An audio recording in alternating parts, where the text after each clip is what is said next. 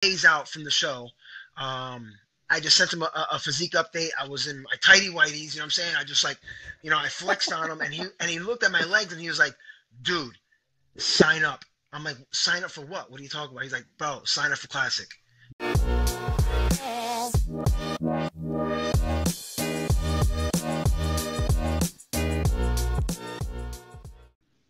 Yes, sir.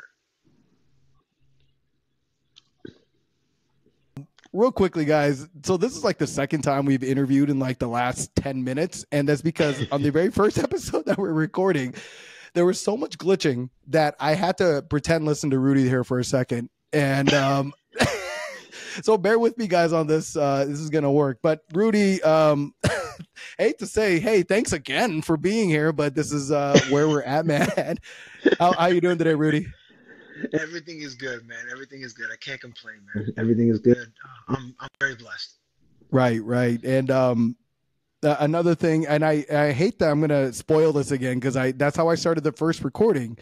But Rudy, I have to ask you because of your name, because of us as athletes, I have to ask, have you seen the movie Rudy and if you have, what are your thoughts on it? I have seen the movie Rudy, and uh, I I thought it was a great movie. It was I thought it was a great movie. Um, it just uh, it really showed um, what a person is capable of when they want it when they set their mind to it. You know what I mean? Like you know, oh, like yeah. he was just that dude. You know what I mean? That nobody believed in him, but he he believed in himself, and and look what he did. You know? So yeah. And like I said, I got I got called Rudy all through high school, all through the chance. Uh, it just didn't stop. yeah, I, I got to tell you, it's like one of my favorite movies of all time.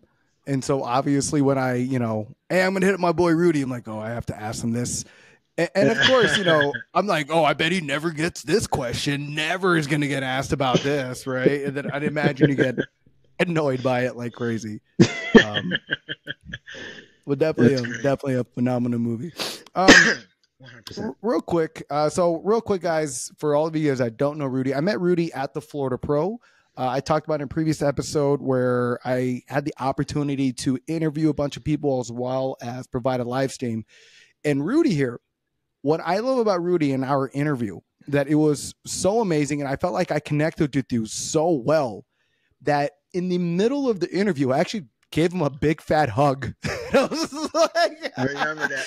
I remember. And then you know what I love about that too is I don't think I hit the record button, so it erased that entire interview. And I remember Sammy coming up getting so upset, like, and I was like, "Oh my god, I just did one of the best interviews here, and I didn't even record it." I but, remember that. And but I, I do want to want to bring it to because you you performed in two different classes and as two different tiers. And what I mean by tiers, you performed as an amateur and as a pro. Um, yes. Can you kind of go into that experience of what it was like to train for that competition, as well as kind of go over the experience of training for two different classes uh, as well?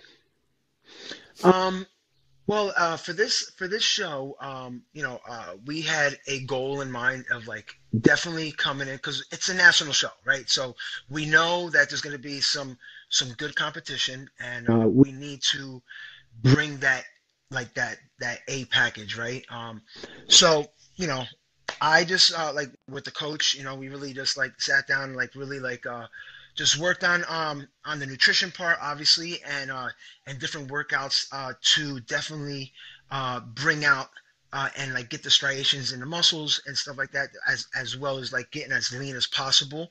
Um it was um it was it was pretty intense. Um you know um my coach really uh uh his, his name is Mike uh, Mikey from uh, from Rare Breed. Um, so yes, um, uh, my hat my hat goes off to him, uh, T, his wife, and the whole team. Um, yeah, man, he really pushed me on this one. You know what I mean? Like, uh, like I, um, I at one point I had a, a mental, almost a mental breakdown from, uh, you know, I'm saying just, uh, you know, just the diet and the, just, you know, just uh, the intense uh, training. Um, I've never been pushed that hard. Um, but you know what I mean? Like, um, with his guidance and uh and just talking to other people like uh, I didn't give up obviously and um and um, and my whole goal of the of, of doing classic, I've always wanted to do classic. Um, mm-hmm. I've I've always loved it. You know what I'm saying? Like you know the the the. Uh, the the C-Bum, you know, like I've always like I watched that and like I I want that stuff, and um, and like I've been like really like I'm very top heavy, uh, so like my mm-hmm. legs were always like uh, a very hard muscle for me to grow, um, but um like I, like I pounded them down and like I I made some like some significant uh, progress in them, and it just it just so happened like uh, four days out from the show, um I just sent him a, a, physique update. I was in my tidy whities, you know what I'm saying? I just like, you know, I flexed on him and he and he looked at my legs and he was like, dude, sign up. I'm like, sign up for what? What are you talking about? He's like, bro, sign up for classic. He's like, you you can mm. do it. Mm. And I was like, damn, man. I was like, you serious? And uh, he's like, bro, let's do it. I, I, I hit up Daryl and I signed up three days out from the show. Oh, and wow. um, yeah, uh, for the classic. And um, and uh, it was it was an amazing experience, man. I really enjoyed uh, being up there with all the all the other competitors. Um, and like I said, I, I, had no expectations. You know, I just wanted to go up there mm-hmm. and get my feet wet and uh, and just get that experience and just uh, break yeah. that you know break the ice. Uh, but it was an amazing experience, man. And, and uh, I, that's you know uh, now now we're really working on it so we can definitely bring a better package um, and uh, so we can do it again you know yeah, yeah. That's uh. First of all, I have to say, you took a picture in tidy whities. Uh, men at our age that still can trust wearing tidy whities is a is accomplishment in of itself. So congratulations on having a pair of tidy whities and being confident enough to take a picture in them. Okay. Yeah, right. Uh, sec- second of all, I, I didn't know it was three days before. Like, could you? I can't imagine what that check-in photo is like when your coach is like, "Bro, them legs." Like, and was that was that the differentiation that pushed you to? Well, that pushed him to tell you to do classic physique is like what your legs look like. Yeah. Um. It's um. Well, prior to that, like I I did a check-in with him. I went to his gym and I like you know. And I, I showed him my legs and he's like, listen, you know, like they're coming along. But yeah, but that was right there. Just like, uh, it was the, when he seen that, he was like, listen, we can do it. And I was like, let's do it. So, um, yeah, man, um, it was it was awesome. It was awesome. I, I, I enjoyed every minute of it.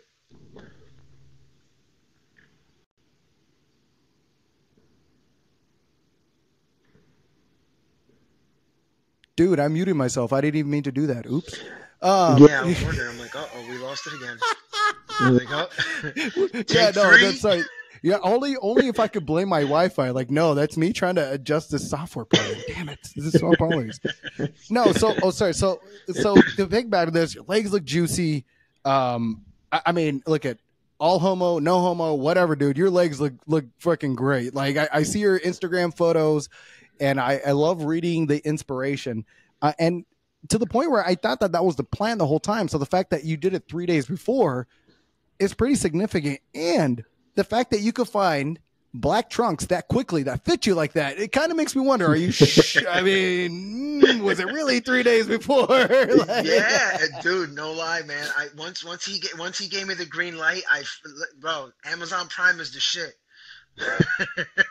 Amazon Prime, found, oh, yeah, I found them on Amazon. They, next day they were right right at my door. I actually bought two pair. I bought a, a, a, small and a medium just in case because I didn't want to just take a chance. You know what I mean? and so, and which I wait, which ones? And which ones fit? The the, the smalls. I don't know why I was curious about that. I'm like, which one was it now, Rudy? oh my uh, god. You know, so yeah. and then at that competition too, you got to compete with your girlfriend, right? Um, I have your fiance. Sorry, sorry, sorry. Uh, your fiance. Right, right, right, it's right. Um, at least I wasn't like that was the person you swiped right to, right? Like no. Um, anyways, uh, but what was what was that preparation like? What was being at the competition, competing with her like? Can you kind of go over that experience as well? Yeah, you know what I mean. Um, you know, we both we both compete, you know, and um, you know, uh, every show we've done, pretty much, uh, we've done together. Um, you know, what I mean, from the beginning. Um, you know, it's it's funny because like uh, uh like I I can I can prep for a show and she can't, but it's not the opposite way around. Like if she wanted to do a show, like I, I have to be along with it. You know what I'm saying? Because if not, like she, she can't do it, right? Um, and yeah, it's just funny like that because like you know, I, I, I guess you know she has discipline, but I have like I guess stronger discipline. Like you know what I mean? Like okay. So she, you know, she she saw like when she was dieting, she was like, "Listen, if you're gonna go have a cheat meal, don't do it around me, because if not, we're gonna be fighting." You know what I mean? you know, but um, yeah, no, but like you know, what I'm saying like um, to be honest, like um, it goes pretty smooth. You know, what I'm saying it's good because like we're both on the same page. You know what I mean? And like um, and we both have our our our times. You know what I mean? Like you know, like oh, she's like you know, she's like you know, like I can't do it no more, or like you know, I'm just like frustrated. You know, because you know how it is. You've done shows when you're dieting so much, you know, you get frustrated at, a, at the drop of a hat. Like any everything oh, is just you're man. on edge with everything. You know what I mean? Like just hearing a voice, you're just like you cringe. You know, it's just like you know, a lot of things get to you. You know what I mean? Right. Um, so that's one thing I, I liked about it is that like you know, when she's like feeling like that, like I can, you know, talk her off the ledge, or even the opposite opposite around. You know what I'm saying? Like if I'm feeling like that, like she'll talk, I talk to her, and I'm glad that we have the communication that you know what I'm saying that we can talk and like we could uh you know help each other out with that. You know, like and, and just push each other and you know just be like, hey, this, you know, we're almost there. We we, we can do this. You know. Yeah, yeah, I can imagine that's going through that um suffering per se together mm-hmm. definitely mm-hmm. can bring you guys a lot closer together and it's also yes. funny. I hate this. I, I actually found this out recently because um, you talked about how you can do prep, but and she doesn't have to. But if she does prep, you have to because of all the cheat meals and whatnot. I found out very recently, um, and and I hope this is right. Still, someone's going to probably correct me in the comments if I'm wrong, but women because of their reaper you know their reproductive system and the fact that their body has to naturally innately take care of another human being that when they go through hunger issues, they're they're actually hangrier than we are. They actually go through more pain than we do. But then that's another funny thing is women also I think inherently have a higher pain tolerance than men do. 100%. Yes. And uh and it's funny cuz so I didn't really believe that until um I forgot which Olympics I watched, but they're running a marathon and I, they literally play the men's and then they play the women's running. Obviously the times are different, but when you see the women get done with the marathon, they're just like, okay, like just leave. Like they're just like, oh, this is the race yeah, yeah. done. And every yeah, single guy that pro- that crossed the finish line just like they're gasping, right? right, right. And I forgot who I was talking to, but it, it, was I was like, no, this is bullshit. This is all that whatever crap. And then literally like look, and I just watch. I'm like, oh my god, it's true. So, uh, so it's funny that you brought up that whole prep uh, and the whole nine yards. So, and, and, how many competitions is this for you guys? Um, this is um, this is seven for me, six for her. Oh wow! So and so yes. you guys, so then you guys have competed six times together. Yes. Yes. Wow. Wow. Okay, and then I also want to talk because you said about Team Rare Breed. You talk about the coach. When I met you and I met everybody out there that was all Team Rare Breed in the whole nine yards. You you guys all had this family dynamic that I definitely gravitated towards. I definitely started hanging out with all you guys more because of it.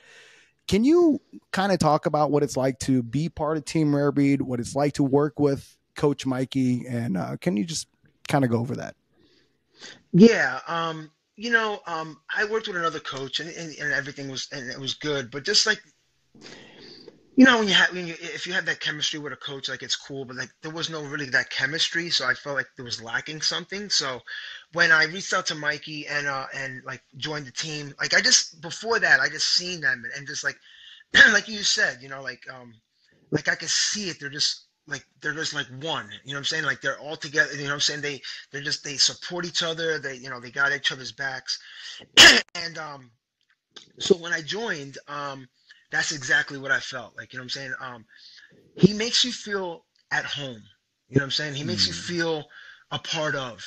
You know, um, uh, you know, every all the whole team does. You know, and um, I don't know. I just I I I really like that, and I you know, I, and just the whole you know the atmosphere with all of us you know what i'm saying it's just very like you said it's like it's like a big family it really is you know and um and like I said, you know, when, when we go to shows, like if one one competitor is competing somewhere, like seven or eight team members they go and support and they're just cheering everybody on you know what i mean like i think that's awesome i think that's awesome because we yeah. all got our, got each other's backs and we all we all want to see each other uh, do our best you know what i mean and mm-hmm. um i don't know i just i just i really love being on that team uh mikey's just he's he, he's a he's a workhorse, man. He's a he's a freaking workhorse, man. He has a lot, a lot of clients. Uh, not only that, he opened up a gym. Uh, he does clients in the gym. Like I, I, I've, I've had some like really long talks. I, was, I don't know how he does it, uh, but he does it. He does it because he has a fucking passion for it. That's what it is. He has That's a passion awesome. for it, man. You know what I mean? And like it just doesn't matter. Like you know what I mean? Like um, he'll do whatever it takes because he loves what he does. Yeah, yeah, dude. Eh, I I think that's what's so amazing about certain brands, about certain people that are a part of a, a group such as yourselves. All of it is a reflection of the person that's at center, you know, and, and they're mm-hmm. the ones that kind of manifest everything. And when you create that energy, that that that atmosphere you only gra- the people that are gravitated towards it are reflections of that same kind of energy so the fact that you guys are all together mm-hmm. all everything and what i love about it as well there's like no egos it doesn't feel like it at least mm-hmm. and it mm-hmm. definitely feels like mm-hmm. like you just said because i remember when when every single time one of your guys' team members were on stage the rest of you were in the crowd cheering them on definitely rooting for them I know that our live stream was going live in the gym that you guys work out at, right? The Rare Breed mm-hmm. compound or so. Um, yeah. And, and, so that's awesome. That's definitely um, huge. Like, would you would you say that being part of that team has definitely um, helped you to where you're at now, and it encourages you to still push for you to be better? One hundred percent, one hundred percent. You know what I mean? Um, you know, um, you know he he believes in he believes in his clients you know what i mean? Like you know um you know um you know i always wanted to do like i said i do, always wanted to do classic but i didn't really believe i can do it but he believed that i can do it right? And like he pushed me and he like designed the workouts so i could be able to like make my legs grow and like get that get that definition that i needed. And like if it wasn't for him like pushing me like that and like letting me know like you can do it you can do it i probably would not have jumped on there I probably would have been like, nah, you know what? I don't want to take that chance. But he believed in me, right? So it made me believe in myself. Nice. Nice. And um so you said seven competitions, and it's interesting that you talked about even with your seventh competition that you kind of broke through a barrier or something that you didn't think you could break through.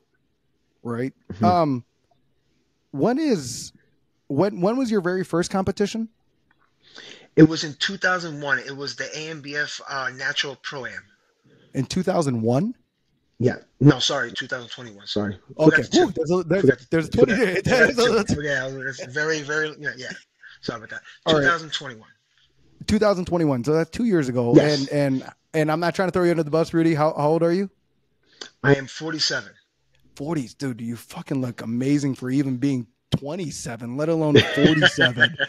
so Thank you. No, no, it's funny because the, the first the first thought in my mind was a smart ass comment, which is, man, you don't look a day over 46. You look great, right? But I'm like, blew my life. You look fucking phenomenal. It doesn't even like that would be such a stupid backhanded compliment.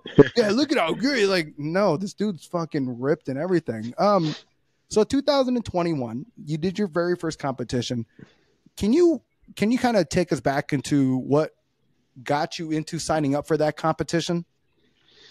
Okay, so um, you know, uh, go back a little bit. Like I've always wanted to compete. I've always like I was intrigued with bodybuilding. Like I've always like was you know back in the day I was looking at like Flex magazines, uh, you know, uh, Muscle Mags, like oh, that's all that good stuff. And uh, um, and I always like, damn, I would love to like do that, you know. Um, uh, but due to like you know, um, you know, my lifestyle, how I was living, obviously, I you know, I couldn't see that. You know what I mean? Um, okay. Uh, but um, how I started was um, I you know, I was I was two hundred I was two hundred and ten pounds.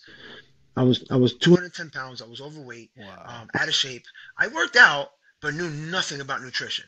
Nothing, like zilch. Like I'm Puerto Rican, like we like to eat. You know what I'm saying? Like our our our, our servings of rice is like enough to feed a family. That's one serving for one person. At least from my mom used to feed us, it was like that's what you're gonna eat, and it was like a mound. So like that's what I thought. Like you know what I mean? And then like uh, you know, so like I said, I I was I was overweight and um and uh so I I finally made a decision like you know what like I was sick to, sick of the way I was feeling and just like feeling like shit, looking like shit. Um, mm. So I hired my first uh, my first online coach, um, and I lost over sixty pounds with this coach. Um, and um, it's funny, right? Because like, you know, uh, my fiance Jen was like, you know, like, hey, you know, you're going through all this dieting. You know what I'm saying? Like, you look phenomenal. Why don't you like? You always talk about competing. Why don't you just go for it? I'm like, mm. and then once again, like you just I, the age thing kicked in. I was like, I'm too old for that. I can't do it. You know. And she's like, come on, you can do it. So I was like, you know what? I'm gonna do it. You know what I'm saying? I so I signed I signed up. Um, and that was actually in uh, right before COVID. To be honest, that's when I first signed up. That's that's when I first signed up for uh, uh, the show. That show right there. And then um, obviously COVID happened. Everything got shut down. Boom, whatever. So mm-hmm. I had to wait until the following year when they were they, they allowed everything to, to reopen again and whatever. So anyway, yeah, so when I decided to really do the show, um, and then uh, she came up to me actually and was like, "Hey, let me ask you a question. Like, do you mind if I do the show with you?" I'm like, "Why not? Let's do it together." And that's how it all started. You know what I mean? So, uh, yeah, it was awesome. So, uh, yeah, so I did that first show.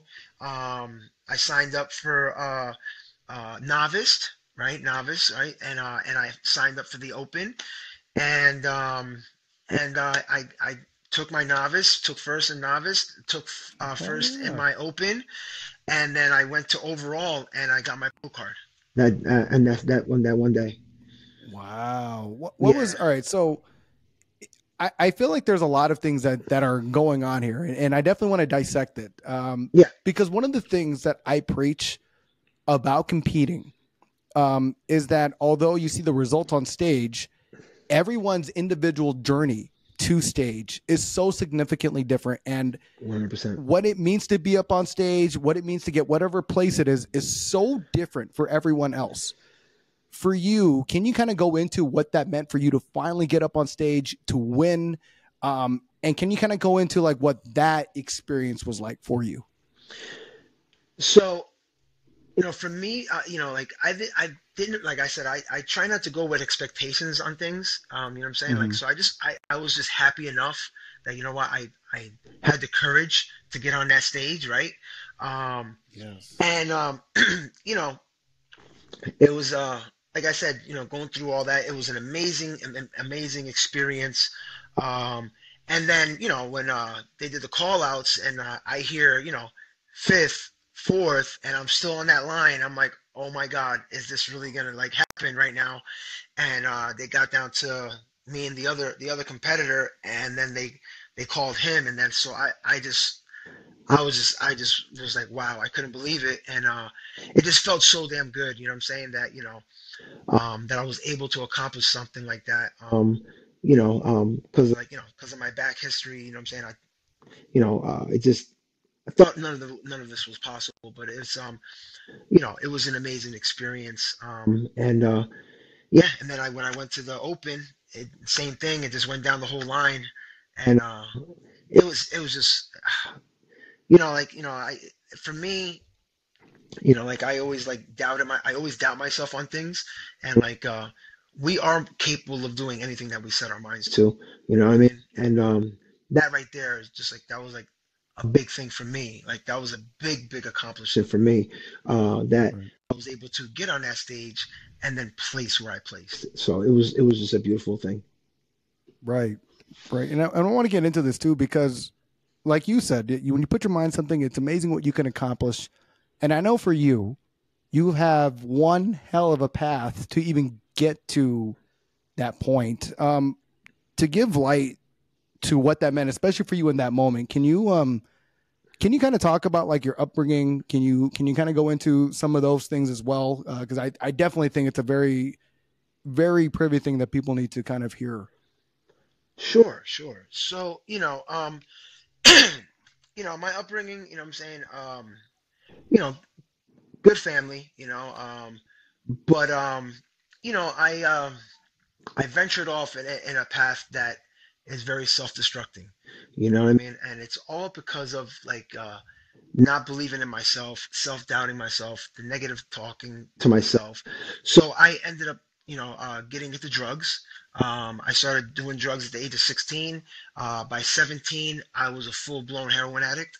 Um, you know what I mean? Uh, it's funny. I say I say this and like joking when I like when I talk at uh, uh, facilities because I go sometimes I go to rehab facilities and I talk to adolescents and I do all these things because it helps me and I want to help them.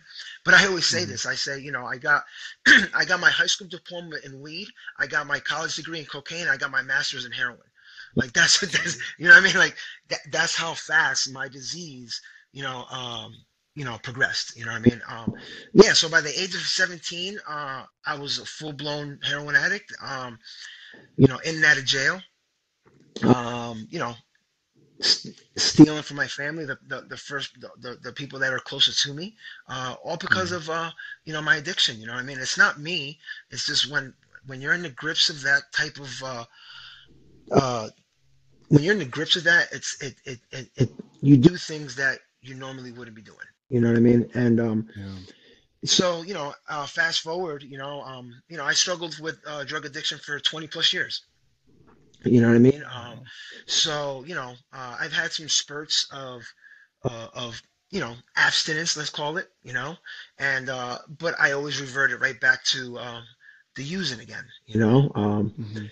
and um, it took me down a really dark path, man. It really did. Um, I ended up in prison. I did five years down prison. Uh, I came home. Uh, this was in 2004, uh, selling drugs to maintain my habit. Um, and I don't say this for glorifying. It's just it's just my story. You know what I mean? Um, and um, so, like I said, you know, um, I ended up in, in prison, uh, and I, I came home after five years. And uh, you would think that, you know, hey, my well, my family thought like, oh, this is really this is what's gonna wake them up. Um, and it didn't. It didn't. It didn't. Mm. Because like when I got out, uh, I went right back to doing the same thing again, and I went back to prison again for two more years. You know what I mean? Uh, so, um, and then uh, you know, eventually uh, I found myself homeless. Found myself homeless on the streets, uh, begging for money, um, finding a way to find food. Uh, I literally ate out of garbage cans. Literally ate out of garbage cans. Um, you know, sleeping in, in a, uh, broken down homes that are abandoned. You know, um, you know, not showering. You know, it just living really, really, really. It just I was a shell of a body. You know, a shell of a human. Um, until the point of, you know, uh, before I got clean, um, you know, uh, I got clean in 2016. Uh, but before that, right before that, all that happened, uh, before I made that decision, um, yeah, I, I try to take myself out. I try to I try to um, take myself out, and uh, and uh, I, I, I it just it wasn't it wasn't in my it wasn't in my plan. Let's just say that. You know what I mean? Um, so, you know, I got clean in 2016, and um, and uh, I just you know I just you know started chasing the recovery. You know, uh, and just you know I learned a lot from myself. You know what I'm saying? I learned how what Rudy how Rudy ticks, and um and I worked on myself, right? Um, Mm. because you know, you know, as we talk about this in in, in meetings, right? And uh, you know, um, the drugs is just a symptom.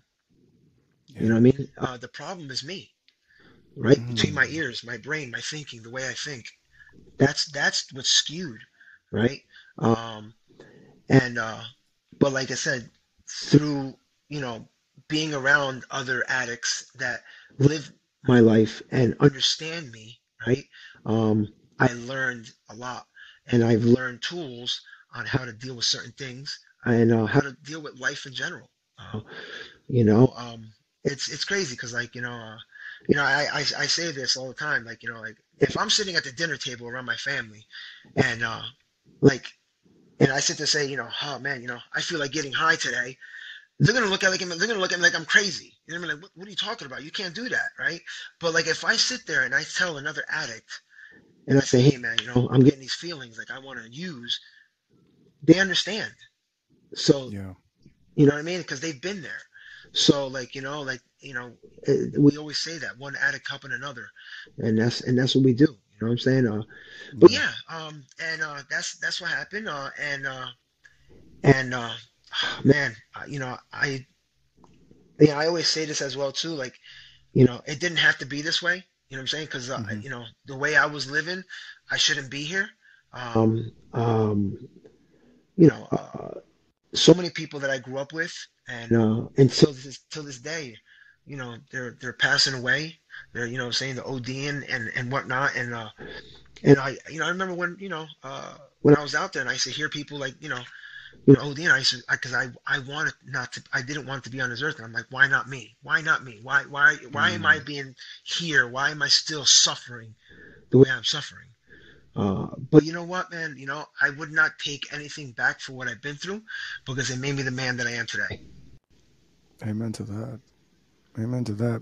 Yeah. Um, I, I wanted to get here real quick because I, I, I want people to understand where people are coming from when they do these things, right? Because it's really easy for us to just say we're addicts or we're on this or we're on that. And I know that comes with a lot of care, like a, a lot of narratives, a lot of stereotypes, a lot of misappropriating their character and kind of what you just said. It, it's a shell of who the hell you are when you're going through that. Um, Can you can you kind of describe what that feeling is, like that shell of yourself? I mean, I, I have a way of explaining it, and I might piggyback onto what you say, but but in your words, can you talk about what that means for you? Um, the reason I I felt empty, I felt empty, Mm. like uh, you know, like there was a void that I was trying to fill.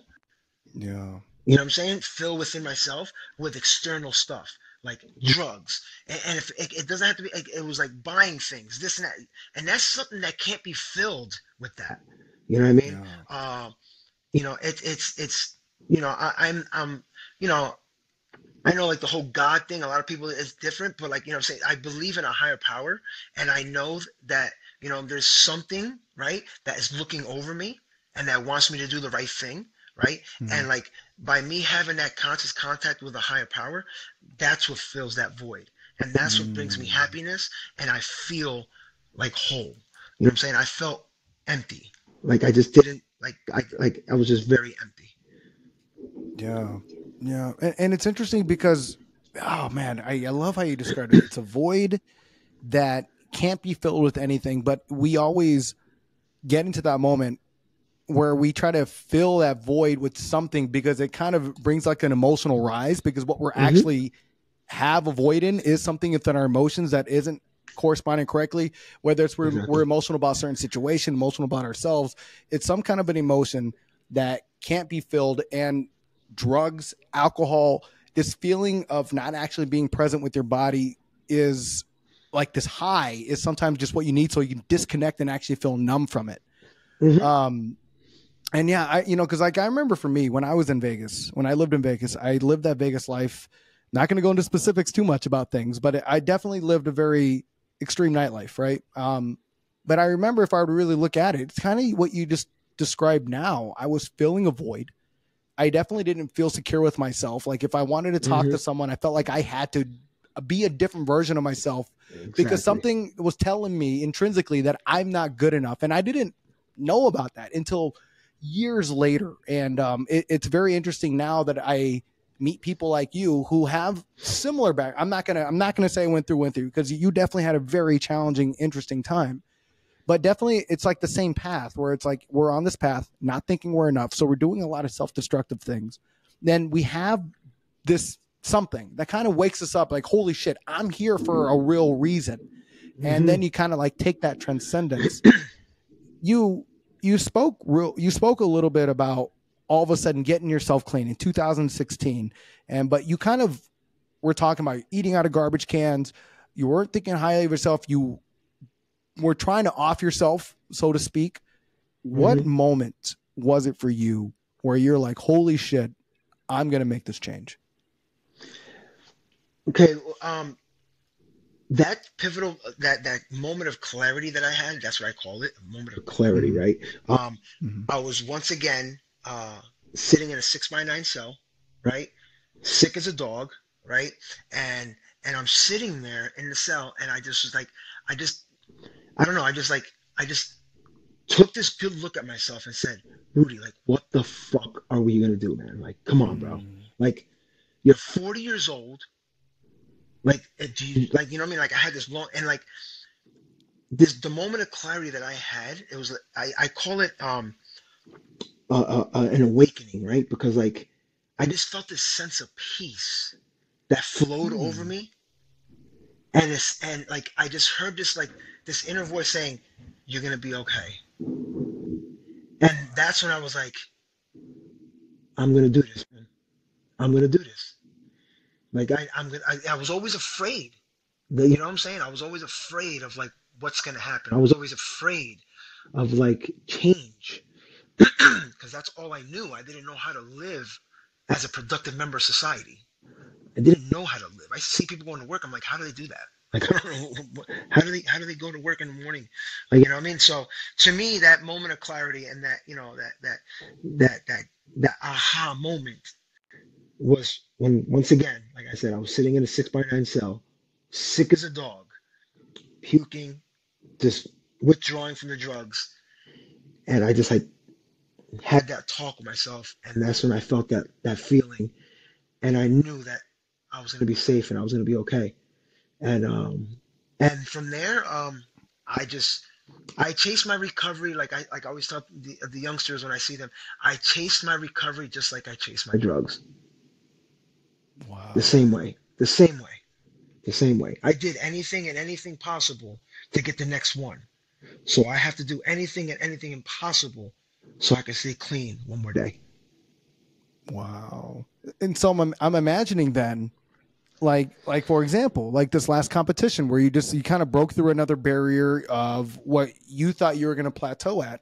And once Mhm. you kind of break through, that's kind of like this other would you say that that's an example of what you're talking about chasing your recovery? Damn right. You know what I'm Oh, saying? Uh, you know, it's it's you know, I I I I put recovery and fitness hand in hand, right? You know, I, I really do. I really do because you know I've learned a lot uh, through my recovery, uh, but at the same time, you know, through fitness, I've learned a lot as well as myself. That it lets me know that you know I like you, we were just talking like I can I can do anything I set my mind to. You know what I'm saying? There's there there is no there's no there's no ceiling. There's no cap. There's there is no cap. The only cap that there is is the one that we put ourselves at. That's it. When we sit there when we sit there and say this is it, this is this is all, all I I can't do that. Now we're just believing the bullshit that we're telling ourselves, so we're not going to attempt to do it, right? So how you not going to know if you don't try, right? So Amen. I I I, I go with I I do uh, listen like I had nothing like nothing like I had freaking a book bag with some dirty ass clothes inside of it you know what I mean like and like you know I cherish everything that I have everything like I'm grateful very grateful for everything I have in my life I'm grateful for the things that I don't have in my life right and um you know like I, I wake up in the morning like it's funny like I, I go to work and like I'm all happy and they're like Rudy why are you so damn happy and in my head, I- you know what I say to myself? I'm like, only if you know. Mm. Only if you knew. Mm. Because, you know I mean? Like, a lot of people don't, don't you know, don't know my story. You know, they, they, they, they never seen me when I was like that. So they just, oh man, you're just a happy dude, man. Like, yeah, damn right, man. Because life is, life is, listen, life is precious and it's beautiful. And, you know, we're only here on borrowed time, man. We're here on borrowed time. You know what I'm saying? So we have to, you know, at least for me, I need to make the best of it. You know what I'm saying? Because I wasted, you know, and I blew 20 years of my life, you know, uh, doing something that was, you know, uh, not conducive to my life at all. Yeah. Yeah, man. There's a that reminds me of a quote. Um, the quote's like the two most important days in a man's life is the day that he's born and the day that he finds out why.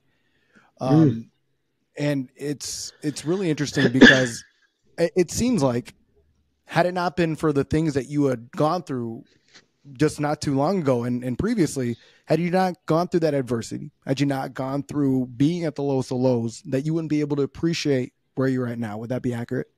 100%. 100%. and and, and that's honestly i, got to tell you man it, it- i feel like uh, first there's a lot of layers to pull this oh, fuck. You open the you open a book where well, uh, uh, uh, was it a bookworm or a book bag of just shit now i can't wait to talk about these things um the first the first is definitely the the working out you know um and the lifting and and definitely signing up for competitions like for me I've always told people that if they're going through anything, finances, whether they're going through a breakup, they're going through body issues, they're going through anything, work out and sign up for a competition, especially if you've never done one. And like, mm-hmm. what? I don't care. I don't, what do I need for a body? What? I'm like, no, no, no, no, no, no. That's not the thing. That's like working out isn't the physical thing I'm trying to tell. But now, mind you, you're going to have right. a, a good, a good result of, of looking better by default. But when you start working out and you're going through these things, like you a learn how to prioritize yourself, you learn mm-hmm. how to eat better, you learn how to go for a higher version of yourself, and all of these attributes are monumental for creating a foundation of transformation of of creating a, a, a newer version of you. And so I love the fact that you brought that up because you didn't you didn't even say anything about oh working out look at my biceps look at my arms like no no no I am prioritizing myself. I'm creating a better version of myself. And that yes, intrinsic value is what matters more than anything else. And that's why I love that you piggyback this off of your self doubt, self belief, because so many people just like, like you just said, like, I can't do it. Yeah. You just prove to yourself that you can't because now if you believe that you can't mm-hmm. you're going to find every reason to prove that to be right and then you're not mm-hmm. going to be a version of yourself and I honestly feel like a lot of people are depressed because they have all of these big, lofty goals, but they don't actually believe they can attain them. And so, therefore, exactly. like they kind of keep themselves at. So, that's another reason why I tell people to compete is because once you get up on stage, like you said, the courage, the whole, the whole nine yards, you're like, hey, I actually could do this. I just, it was me this whole time.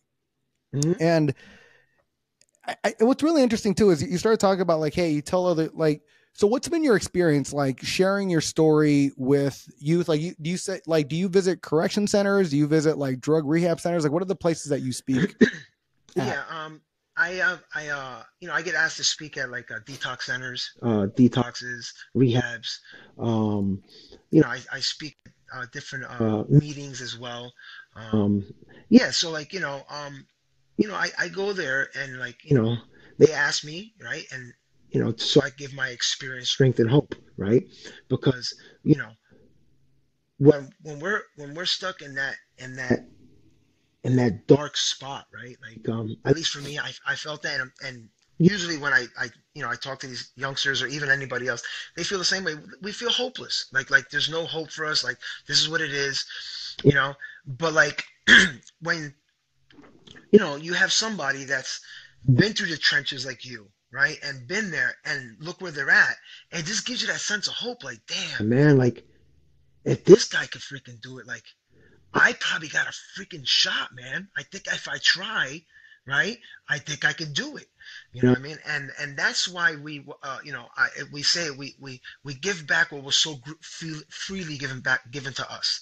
You know what I'm saying? Mm-hmm. You know, we we give it, we get, we can't keep what we have without giving it away. Make sense? You know what I'm saying? So like the gift that was given to me, I have to give it away. It's not for me to keep. You know what I mean? Yeah. The message of hope, the message that we do recover, we can change. You know what I mean? That's why I'm very, you know, uh, you know, you see it on my Instagram. Like I talk about, I, listen, I'm an open damn book, like straight up. Like there's, you know, I'm transparent as transparent can be. You know what I mean? I talk about it. You know what I'm saying? I, I've and like you know, and I've gotten so many messages from people, you know, uh, from everywhere. You know, like oh my god, like that post touched me. Like oh my god, like my son, like they open up people that I don't even know. Like you know, I've never really talked about this, but my son is going through this problem, and like I, I would love for him to talk to you. Mm. You know what I mean? Like you know what I mean? Like things like that. You know what I mean? It's and that's and that's and that's why I'm, you know, I I, I do what I do. Like I, you know, I talk about fitness on my page a lot too as well. But at the same time, I talk about change. You know what I mean? Yeah. Because there could be somebody right sitting on Instagram in their dark ass room, right? Wishing they were they could freaking just die, and they're just scrolling because they don't know what to do no more, and all of a sudden they run into my fucking page and all of a sudden they hear me speak and they're like, holy shit. You know what I mean? If I could, you know what I mean? It's the, the best feeling I've gotten is when I go somewhere and like I talk to a, a bunch of youngsters or a, a, a, detox center, and then when I see them later on, and then like, hey, Rudy, you remember me? I'm like, oh yeah. I'm like, damn, man, like, remember, you know, when you went to the meeting and like, you know, you talked, man, I've been clean ever since because of that. Hell yeah, dude, that's a rush and a half. I always say that's the that's better than any drug I've ever touched in my life.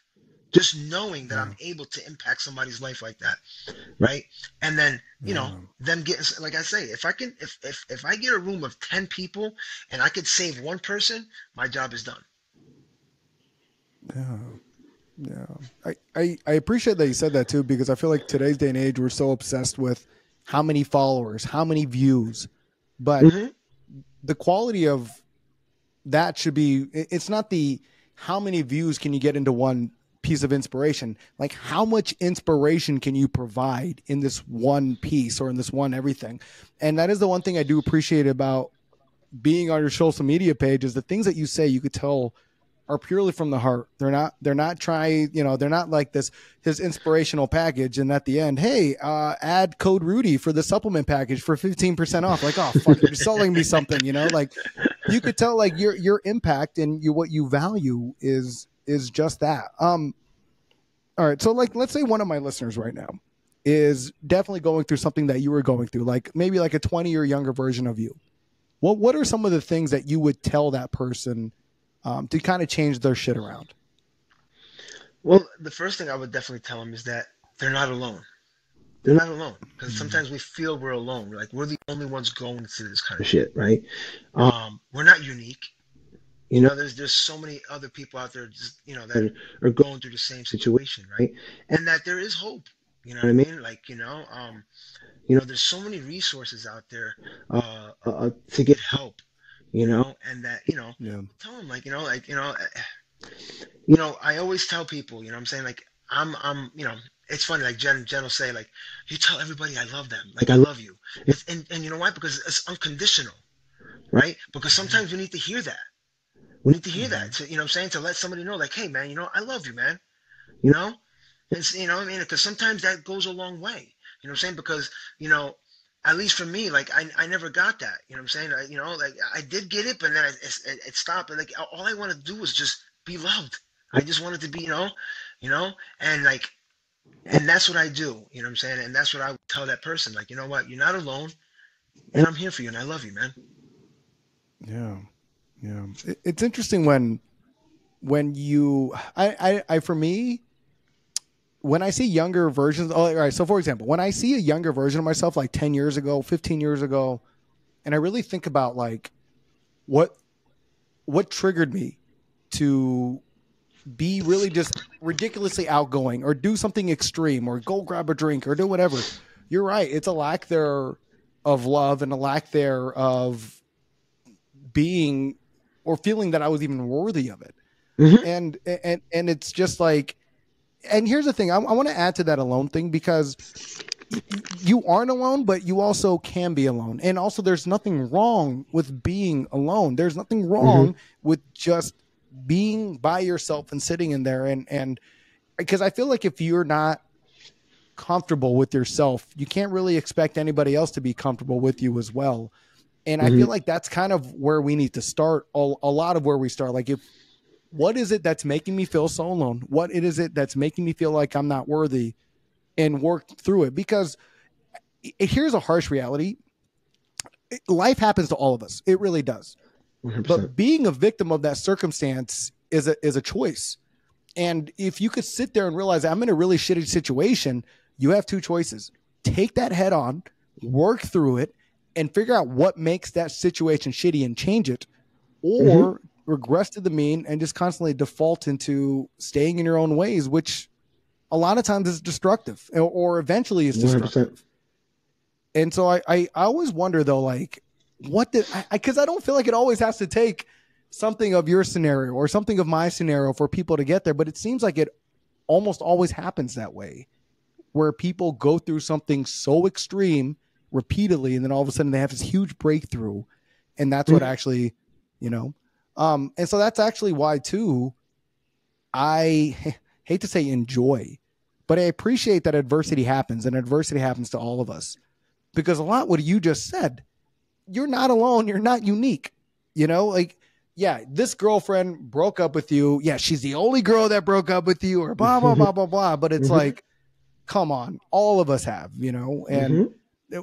And one of the things that I used to like, you know, I remember for me when I was um when I was in the Navy and I get back, like I went on deployment, I went on this, I went on that, blah blah blah blah blah. But it's like you don't have to be deployed to feel isolated from the world. Like you could be president every single day, but still feel gone. But those are those moments where we got to learn from, you know, whatever. But it's funny that you mentioned that because I remember being in that time, like, oh, I'm poor me, poor this, poor that, Oh yeah, I played the victim and role. then, yeah, yeah, I, victim role. I always wonder. It's it's so popular. I you know it's funny because I was just talking to my mom about this, um, which I don't understand where people love being a victim. Yeah, I, I don't know if you do you notice that uh, at all. One hundred percent. I do. What's your take on that? What's your take on that? I'm curious. You- you know, uh, me, uh, at least from my experience, right? From me, Um, uh, um, I played the victim role because I didn't want to look at myself. I didn't want to look at the, my me. You know what I'm saying? Like, you know, I was running from me, but the problem is you can't run from yourself. Wherever you go, you have you. You know what I mean? So I always played the victim role. Oh, it's it's uh, my mom didn't love me enough. That's the reason why I was like this. Um, you know, this, this, and that, blah, blah, blah, whatever the case may be. You know what I mean? Because we don't want to, we don't want to take a real harsh look at ourselves and mm, what we're doing, right? So we always want to point the finger at everything else. It's everybody else's fault. The reason why we're like this, when we're not looking at yeah, the real, the real person is it's ourselves. yeah, yeah. I, I I wonder though, like. I want. I, so this is my curiosity. Like, I wonder if that's a default. Like, I wonder if we're programmed to be a victim or programmed to, you know, because I I, I Yeah. hate to say, it, but I see it more often than not. Um, and, and I know, for example, like it's a. This is what I heard too. Again, you, people can fact check me all they want on this one, but it's a survival tactic that where we are drawn to look at the negativity because we're drawn to survive. We're drawn to Mhm. constantly patchwork and things like better. So it's it, it, it's a uh, it's a change when we start looking on the positive on the positive things and constantly look at it. And what's interesting too is like for example, um, I I I I posted a five mile run at the beach uh, last week, right? And I remember I got a couple of DMs like, "Oh, cool, that's whatever." And I had one comment in in particular. He goes, "Must be nice to be able to do that. Must be nice to do this," you know. And I remember sitting there, I'm like, just because I I regularly run and just because I do this, it does not mean that it's not challenging still. Because I'll tell you, because I ran at Huntington Beach, it's an hour away, and then I had to bring my shower stuff because I have to go to work afterwards. And every single step of the way, I'm sitting there like, "Fuck me, why am I doing this? Fuck this, fuck that, fuck this, fuck that." Mhm. But I got to constantly remind myself that is just your fucking bitch ass mind being a bitch and you need to fucking get over it. And the only way to get over it is be like, hey, you're being a bitch. You can either Mhm. stay in this bitchness or go through it. And even when I work out, even even when I hit the, the alarm to work out, and I know you're you're an early riser as well. Mhm. Like I could not tell you how big that snooze button looks every fucking morning, but it's like you know what I mean? It's like, oh, I could, I, I could know. take this off. I could push this to the afternoon, but it's constantly making that choice every single day. And it's funny because you don't really get over that bitch mindset. You just get used to it and learn how to overcome it. And Exactly. and I honestly feel for me, like my self confidence developed bec- uh, for for one of the many reasons, but one of the main ones is a understanding I have an inner bitch, and, it, and it exists, and I and it constantly makes me want to quit. But going against that innate response every single time is what definitely brings a lot of self awareness, brings a lot of self calm, and I think it's it's you know it's a transformation isn't exactly you get abs and you're someone abs like no you're a person that is, understands that there's a discipline that goes along with everything that we do Mhm. and yeah, it, it's not about becoming superhuman. It's actually being aware that we are human, but still choosing otherwise. You know? exactly. You know, I, I feel I feel like you know, like you just said, you know, I'm saying like, Uh, you know, a lot of people think that working out is always a physical thing. you know. Yeah, that's that's a part of it, yes. Um, but like you just said, it's a lot. It's a lot deeper than that, man. It's a lot deeper than that. You know, um, you know, it, it's it's made me a better person. It's made me, you know, like I, I like you just said, I uh, uh, I learned how to, you know, like be regimented, like discipline, you know, like all these things, you know, and all because of fitness, it has spewed in all areas of my life. Yes. You know what I'm saying? You know what I mean? Yes. It's not just you know people like oh well yeah you, you, you know you work out just get ass yeah that's great you know what I'm saying obviously that the results are going to come like you said, but there's so much more. You know, to me it to me to me fitness is it's a spiritual, mental, and physical thing. That's what I believe.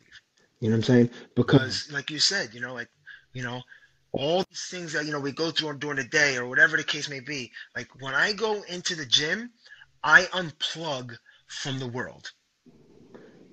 I literally I put my music on, I put my my music on, and it's just me and the weights. That's it. Yeah. Like I sit here and I and like you said, you know what I'm saying? Like our brain will tell us, you know, like, you know, uh, you got 10 reps and then your brain's like it, it's it's because it's built for comfortability. It tells you no more. You, Mm. you don't that's it. You don't, you can't do no one more. But that's bullshit. You know what I'm saying? Because then we're like, no, you can do it. You can do. It. Like I said, I, I have an inner bitch too. I tell, I tell, I tell that, I tell, I tell that bitch to shut the fuck up and sit in the back seat sometimes. You know, don't, don't listen. I'm driving right now. you know what I'm saying? But it's the truth. You know what I'm saying? Yeah. Because like you know, like our our brains, like you said, are built right for comfortability. It doesn't like to be uncomfortable. Right? You know, and like the snooze, like you said, the snooze button thing. You know, like the, you know, you know what's crazy, right? Like, uh, like it, I gotten better. Like I now I am so like on point that I actually beat my alarm. I, I wake up no alarm needed. Like That's impressive. literally. You know what I'm saying? But I train myself, right? I train myself, you know, and like it's crazy, right? There's a um I forget what motivational speaker. I think it's uh oh man, I forget what her name is. Anyway, the point is she says that when you wake up, right, you have a five second window before your brain kicks in. So what she would say, because like think about it, how many times have you had this? The alarm goes off, and you sit there, you're like, damn it, this pillow feels damn good. I don't want to get up yet. right? So what she would say is when the alarm goes off, count backwards, five, four, three, two, one, and just get the fuck up. And I thought like Mm. damn. And it fucking works. When the alarm used to go off, I go five, four, three, two, one, and just get and just and just and spring up. I don't let I don't let my brain kick in to tell me, damn, that pillow and that freaking blanket feels very, very warm right now. Yeah. You know what I mean? And that's that's what worked for me. You know what I mean? It's crazy. I took that. I sound as, as stupid as it sound. I was like, you know, what? let me try that shit. You know, and oh, it Yeah. freaking works, man. It works. It's crazy. As it, it works. You- You're not wrong. You're not wrong. Yeah, for for me, I uh I now have a genuine fear if I miss a workout. A fear and I lose my fucking mind. Like like for example, like let's I, I've definitely had a few mornings, uh, probably like once or twice a month. I'll I'll hit the snooze and then I realize I actually hit the off button and then I didn't hit the snooze uh, and then all of a sudden I'm like, "Oh yeah, I'm going to snooze." I'm like, "Why is it sunlight out?" Fuck, you know? And, and then um and then I can't then I got to go to work and I didn't get a workout. Like let's say it's a legs day, right? And I'm just like sitting there at work like fuck when I'm gonna hit the fucking gym. Like I don't even fucking know what I'm doing. Like it's terrible. But it's at that point. Um but you're right though, like you just have to get the fuck over it. And and here's another thing too that's really interesting is like so our circadian rhythms and how far when we get into REM sleep is really crucial. And so like because our REM, I think our REM cycles are anywhere between like three hours or or some some interval of that dynamic.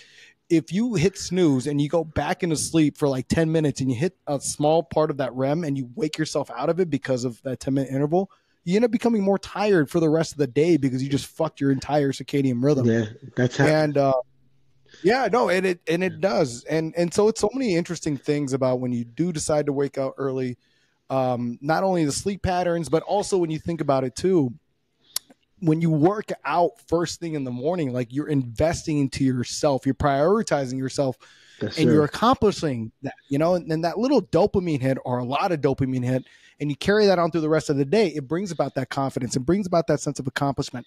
And when you have someone who's energetically feeling accomplished and feeling confident, just everything that they do for the rest of the day exhibits that kind of energy and people are drawn to that energy 100%. and so what you talked about earlier was really important where you said like you know people think it's all about the about the physique the physical attributes they are that but usually those attributes are associated with confidence with accomplishment or something like because what you just said right? Getting to that level is more than just the physical. It's everything else that accompanies that. And it's like how can you not feel accomplished as a human being when you're at that level of fitness when you're at that level of self prioritization and so it's really interesting because people attribute that confidence because of the look, not realizing that look is actually the byproduct of that confidence and that byproduct Mhm. of that self investment. And so it's when I, I think more people need to realize that it's not about the physique, it's about becoming that person first. The physique is just a result of that person's intrinsic value to invest into That's right. themselves. That's right. And so um, I'm going to get off my, my pedestal now for that one, but uh, my soapbox, I guess, for that. That was good. That was, good. that was, I like, it. yeah, no, no, I'm gonna, I'm gonna mark, so I'm gonna mark, I'm gonna save that clip. Yes, I'm gonna save that. Yes. Um, yes. Clip. Um, but it definitely is. Um, all right, so Rudy, what are your, uh, you said you're done doing physique, right? And now you're just do, gonna continue doing classic physique. Um, when's your next show? Um, so right now, um, what I'm gonna be, the, the whole goal that we have set and plan is, uh, I want to take a whole full year off. Um, you know what I'm saying? Okay. Off season, nice, uh, a nice full year, uh, to really like, uh, go through this, um, you know, this growing phase, you know, uh, the, the, the transformation phase so we can put uh, more size, um, as well as, you know, a clean bulk, you know what I'm saying? Not get sloppy, obviously. Okay. Um, but yeah, definitely um, just really try to like um, put as much muscle as possible through the year. Uh, don't have anything in line yet. Um, but um, when we start getting closer, uh, that's when I'll probably sit down with the coach and kind of like, you know, like map out, you know, everything, uh, uh, you know, how we're gonna go about for the next one.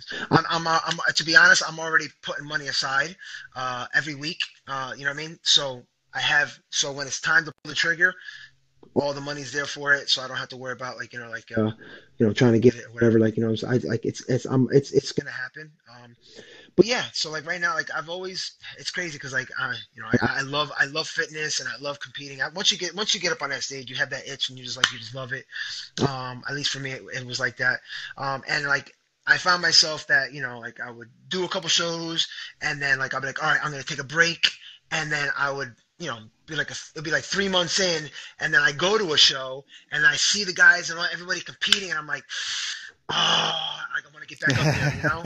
and then so and then I pull the trigger and I do it. So this time I committed myself this time for real uh, to really um, give myself that that that that time. Uh, one for the body to heal, uh, and so I can be able to grow. Because you know, if you're always you know jumping back and forth into shows and you're in your in that deficit, you're not you're not going to gain any muscle. You're just you know you're just maintaining what you have. And I want to be a better version uh, and a bigger version of what I brought uh, in Florida. Even thicker thighs is That's what right. you want. That's right. Thick. That's right. Every- That's right. Every time I hear that word, have you seen that uh, Donald Trump meme where he says, Yeah, yeah, And I, I, I can't unsee that. I can't unsee that to save my goddamn life, no matter what. That's great. Oh my god. Um, all right, Rudy, for uh, for my listeners and for everybody else, uh, Instagram handle, anything like that that you uh, want to put out there so people can follow you. Yeah, man, definitely, man. Um, yeah, you can check me out on my Instagram. Uh, it's uh, J A N D R Fitness underscore. Uh, or on Facebook, uh, you can just find us uh, Jen Rudy. You can find us on theirs too. Um, that's both of our page. Um, I'm here to help. Any questions? Uh, anybody struggling? Don't feel ashamed and like like reach out. I'm I'm here here. to help. Um, Yeah, uh, I would love to, you know, help anybody that needs help. because uh, it helps me. Absolutely, absolutely. All right, Rudy. Well, thank you so much for uh, being on here and dude, I'm so happy that's actually just recorded all the way through, given what we were experiencing for the It first was- 20 minutes. It was per- perfect. It came out perfect. It was great. And I- I Allen, agree. Allen, I, I really do want to say this to as, as well.